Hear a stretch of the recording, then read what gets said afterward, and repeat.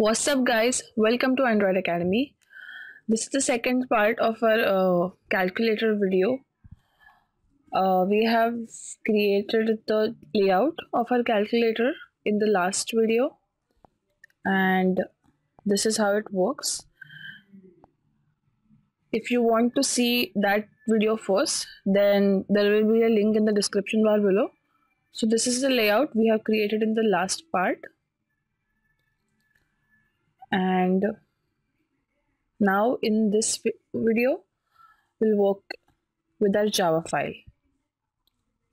So as you can see we have set the on click value on button click for all the buttons.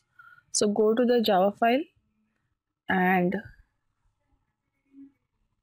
type public void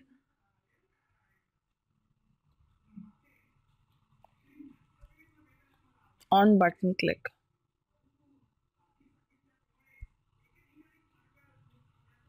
Whatever value you have given for on click, uh, you need to make the same value as your method name.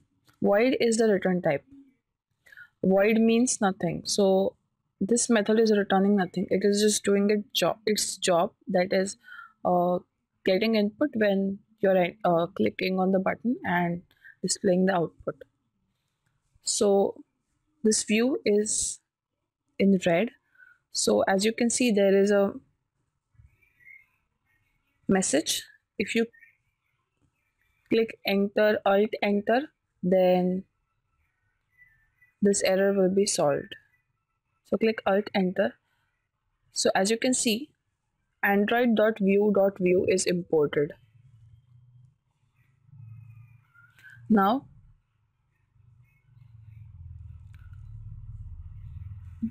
first we'll need to create two edit text variables. That is for two uh, text fields.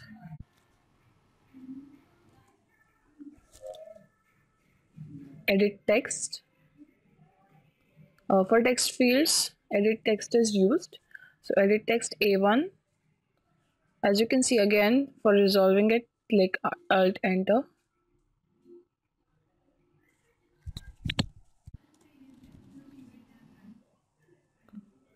Uh, find view by id r.id.tfnum tfnum is the id we have set for our first number text field and do the same thing for tf number 2 now we need one result text view. For label we use text view.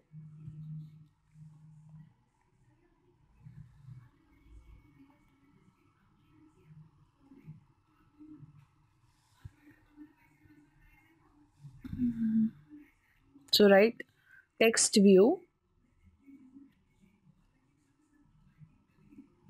TV. You can name it anything. So text view, find view by ID.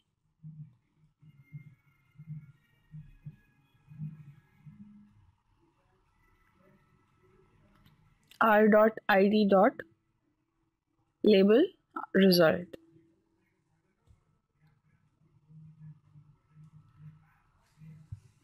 we have linked our two text fields and one label which which is for answer uh, with the java variables a1 a2 and tv now we'll create three double variables that is num1 num2 and answer.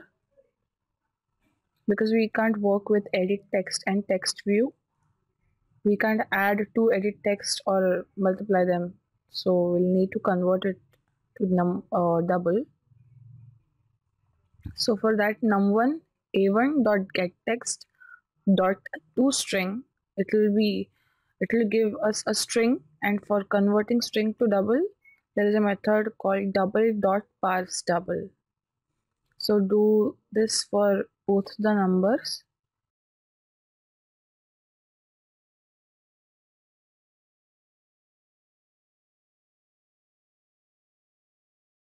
a2 dot get text dot to string and double dot parse double.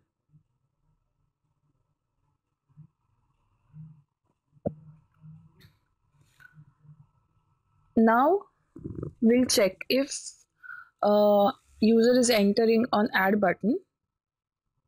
So if v dot get id is equal to r dot id dot b add then we'll need to add two numbers. So answer will be equal to num1 plus num2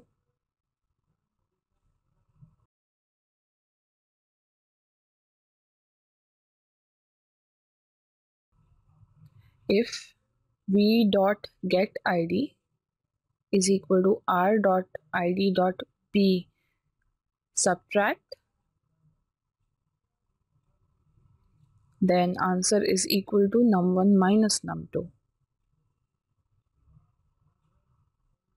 so we'll repeat it for our multiply and divide operations.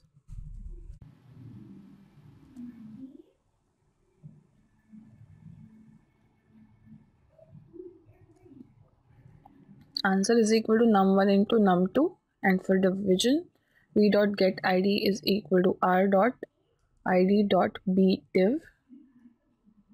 Answer is equal to num1 by num2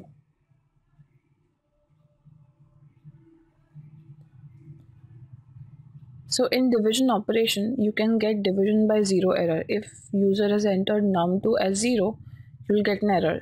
So we'll handle it now only. So if num2 is equal to 0 then we'll create a flag variable and we'll set it true. True means that division by zero uh, there is an error.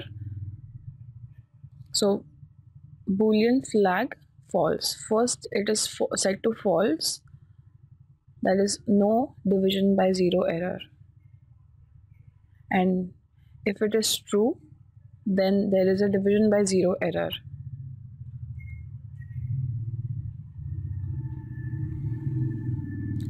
so if num2 is equal to 0 flag will be set to true and else division operation will be performed.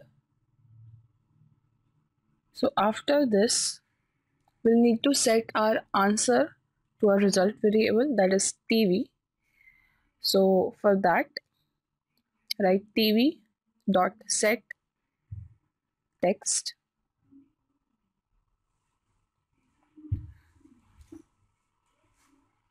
answer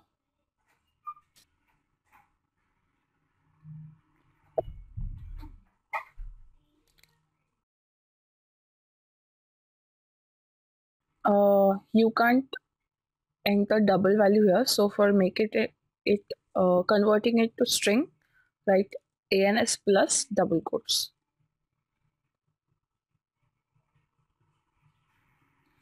Now we haven't initialized answer to zero so do that so we have created our java file and in the previous tutorial we have created our layout in the next part i'll show you how to create android emulator device and we'll run our application. So thank you so much for watching this video. Make sure you subscribe to my channel and if you like this video, give a big thumbs up. Bye.